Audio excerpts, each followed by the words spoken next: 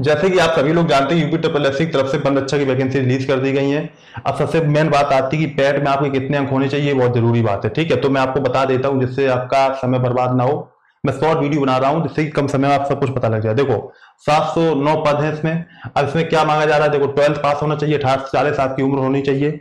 दस के जी वज़न उठा चार घंटे में आपको पच्चीस किलोमीटर तय करना है, एक चौदह किलोमीटर चार घंटे में करना है, ठीक है?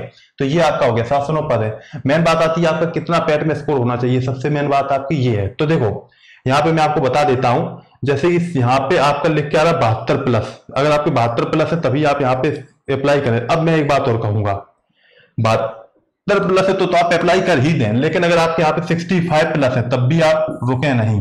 फॉर्म फिर भी भरें क्योंकि क्या होता है कभी कभी ऐसे भी हो जाते कारण कि शायद आपका क्या कारण हो जाए कैसा इशू हो जाए जिस कारण कम नंबर वालों को भी बुला लिया जाए। सिर्फ़ पच्चीस रुपए ही तो लगने हैं इसलिए फॉर्म तो भर ही दीजिए। ये मत सोचिए कि नहीं शायद होगा कि नहीं होगा क्या होगा।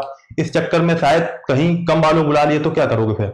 इसलिए जितना भी है सब भरे, हम तो ये कहेंगे, ठीक है? पैंसठ वाले तो बिल्कुल भर ही दें। लेकिन उससे कम वाले भी भरे, हम लेकिन ये ज़रूर है कि वैसे तो उम्मीद तो है ही बहत्तर प्लस जाएगी कट ऑफ़ ठीक है?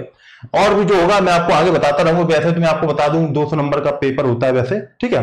तो उसमें रीजनिंग आती है जीएस आती है और हिंदी आती है, ठीक है?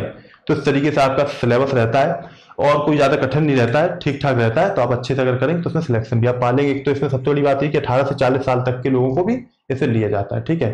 तो वीडियो को लाइक ज़रूर करिएगा शेयर करिएगा और मिलेंगे फिर नेक्स्ट वीडियो तब तक लिए सब लोग all the best thank you जय हिंद। जय भारत।